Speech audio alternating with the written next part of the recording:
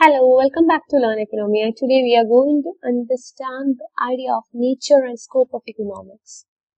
Let's get started. Before understanding the idea of nature and scope of economics, it's important to say what is economics. We have learned so many theories, so many ideas, so many concepts and so many topics in the arena of economics. I know this is a very simple thing to tell you, regarding what is economics. But when it comes to nature and scope of economics, the idea of economics is also very important. You need to define it first. Then only you can come to the nature and scope of the very same. Also, we could see that the nature and scope of economics is something which has been identified as an important arena even for several several competitive examinations. This is so because you just need to understand the base first. Then only you can come to the higher level ideas, complicated theoretical part of the same.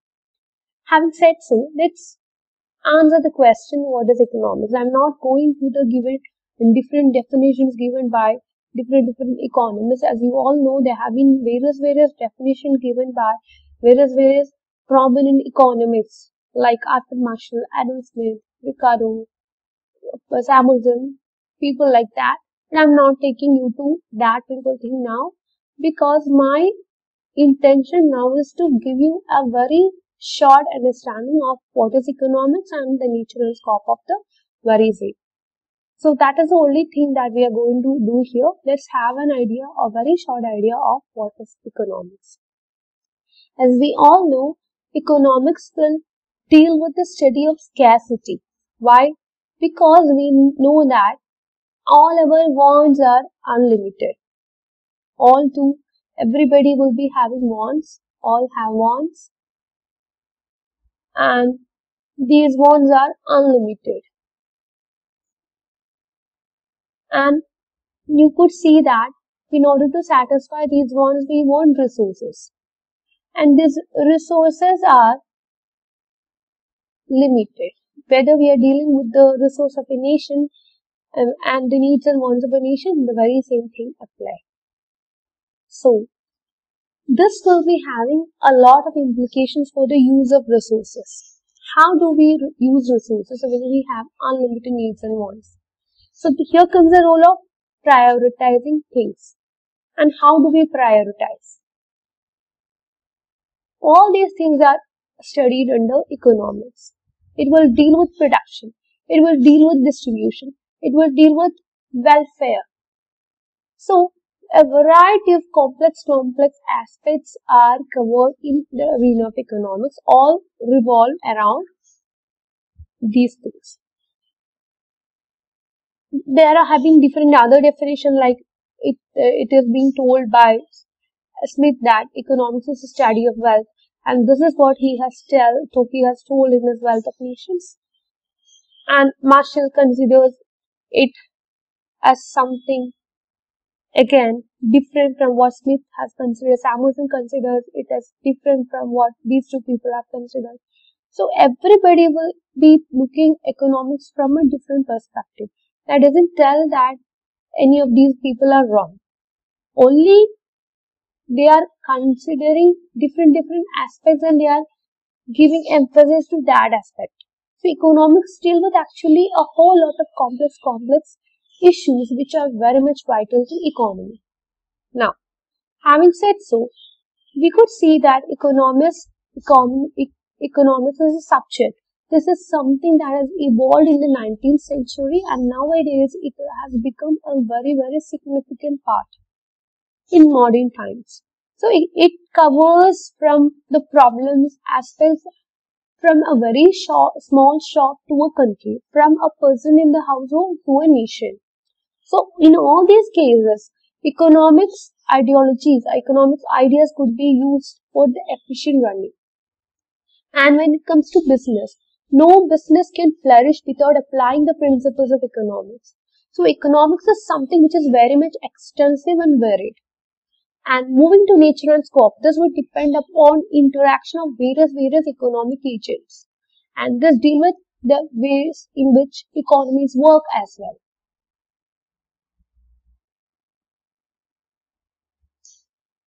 Now, having said a very short introduction regarding economics, now we can come to the actual topic of discussion, the nature and scope.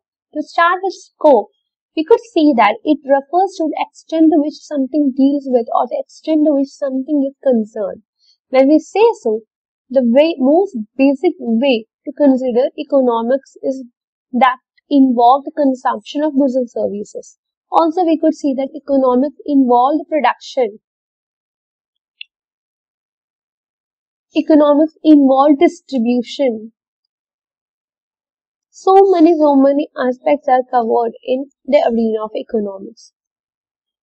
So, to be something which is very simple, this could be, the scope could be understood by considering economics, microeconomics and macroeconomics. In the case of microeconomics, we could see that it deals with the study of individual economic units. So here we deal with a single individual. We deal with a single firm. We deal with a single industry. We deal with a single uh, household. We can deal with a single market. Things like that. Also, pricing a single product, the behavior of a single consumer, the behavior of a single firm, things like that are understood in terms of microeconomics because it's concerned about the individual economic units such as producers, consumers, etc. So for the very same reason, we do have certain important topics that are covered in uh, the arena of microeconomics. This is something that we have already discussed the idea of elasticity. So here it shows how much would be the change in quantity as a result of change in some factor that would influence the quantity. We can have elasticity of supply, we can have elasticity of demand. So this elasticity can be a also price elasticity, something called income elasticity would be there, something called cross elasticity would be there. It all depends upon the particular scenario that we are considering. Again, the theory of production. Here we are connecting output with inputs. You could see that various combination, various factors are combined together to form output. Now, cost of production. In order to produce output, the producer would be incurring some cost. Now, monopoly. It's a market structure with a single seller. Then you have oligopoly with few sellers, again a market structure.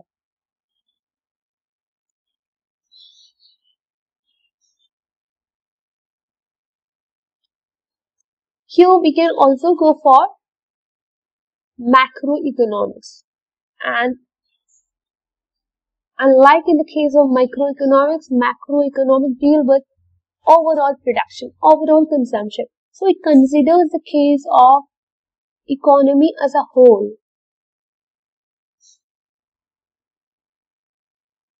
And for the very same reason, we'll be having some concepts like national income, GDP, GNP, things like that. The various important topics that we cover here include business cycles, national budget, unemployment situation, money supply case. So everywhere we are going for the aggregates.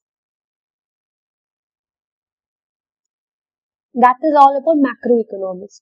Moving to the some uh, important topics that we cover here involves the idea of growth, which can be measured in terms of GDP or some other indicator.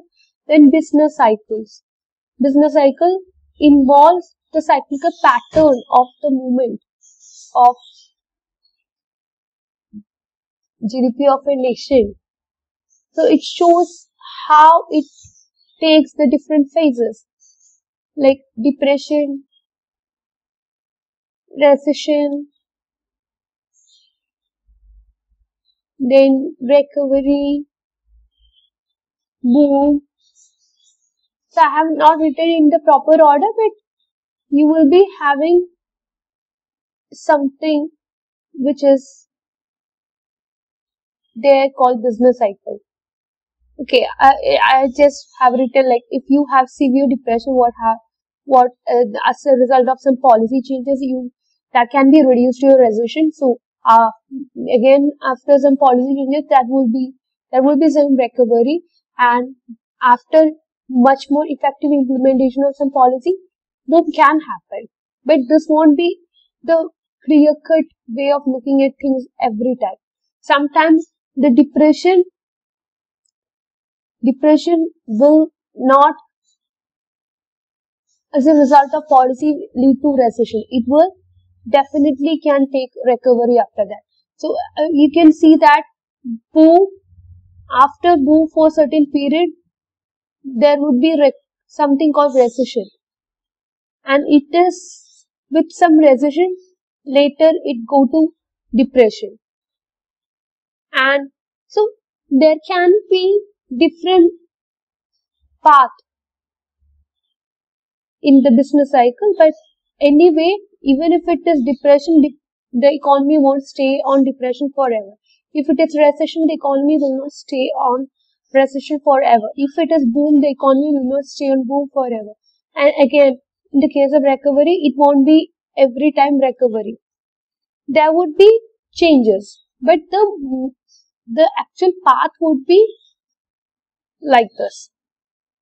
This is the this is standard path, but there will be differences.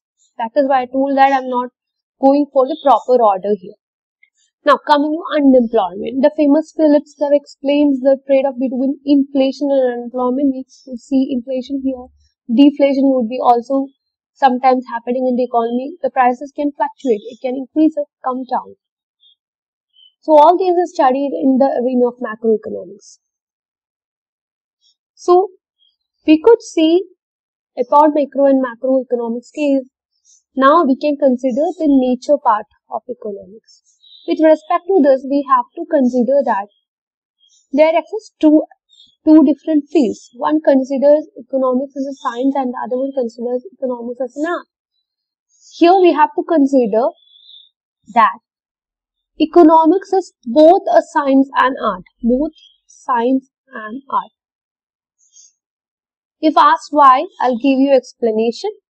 With respect to art, art is usually considered as an important field that deals with expressing ideas, application of skills, the idea of creativity is there, pragmatism is there.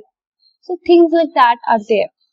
And in the case of economics also we are using a lot much of imagination we are using a, so much of assumption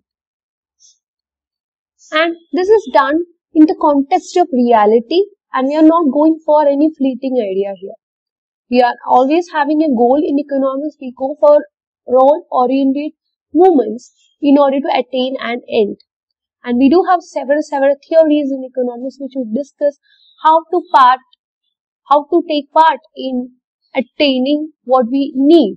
So we deal with the practical application of all the textual knowledge. Textbook knowledge is being applied here. So economics is an art. Now why economics is a science? Science usually involves the establishment of cause-effect relationship. We go for something quantifiable. We go for something proven.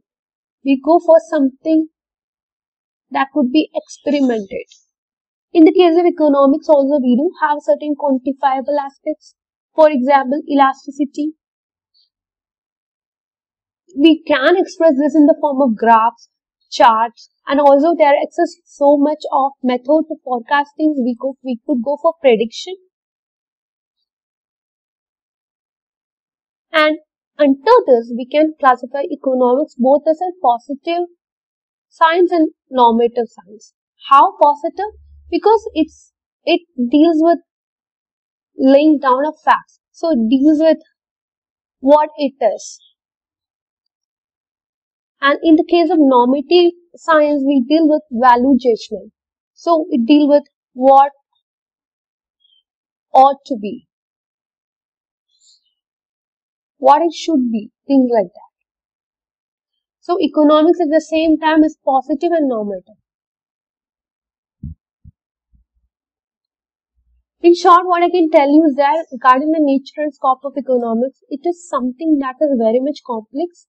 It covers almost all the central issues of an economy and this subject plays a very important role when it comes to enlightening many thoughts of great, great economists.